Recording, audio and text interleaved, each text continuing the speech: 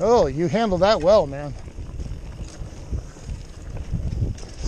Sometimes you don't even see the root that tries to take you down.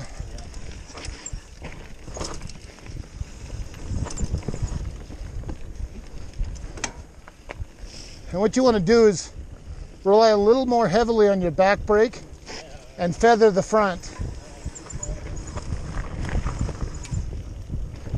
Yeah, go ahead and kick it to the side here and we'll Enjoy, man. Yes, likewise. Welcome back.